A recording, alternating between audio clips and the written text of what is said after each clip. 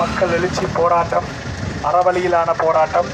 இப்பொழுது வடமாகாணம் முல்லைத்தீவு மாவட்டம் பழைய செம்மலை நீராவியரி பிள்ளையார் ஆலயத்தை வந்தடைந்து விநாயக பெருமானை தரிசித்து கொண்டு அந்த பேரணி இப்பொழுது நடைபவனியாக நடந்து கொண்டிருக்கிறது.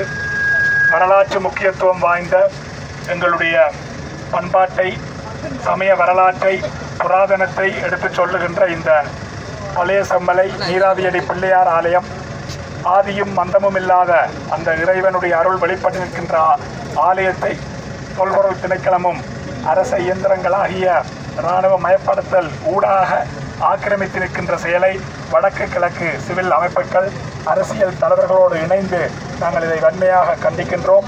அந்த அடிப்படையிலே இந்த தொல்பொருள் திணைக்களம் இராணுவமயமாக்கல் போன்ற செயற்பாடுகள் எங்களுடைய தமிழர்கள் பாரம்பரியமாக வாழுகின்ற இந்த மண்ணிலே நிறுத்தப்பட வேண்டும் என்பதுதான் எங்களுடைய கோரிக்கை. வரலாறு மாற்றப்படக்கூடாது. உண்மை எதுவோ அதை நாங்கள் ஏற்றுத்தான் இந்த ஜனநாயக ரீதியிலே இந்த அறவழி போராட்டத்தை நடாத்தி கொண்டிருக்கின்றோம். அந்த அடிப்படையிலே இந்த விடயத்தை சர்வதேச சமூகம் அதே போல ஐக்கிய நாடுகள் கட்டமைப்புகள் அனைத்தும் இவற்றை கவனத்தில் கொள்ள வேண்டும். எங்களுடைய உறவுகள் அனைவரும் தொடர்ந்து போராட்டத்திலே இணைந்து கொள்ளுமாறு அனைவரையும் அன்போடு நாங்கள் வரவேற்றிருக்கின்றோம். நன்றி.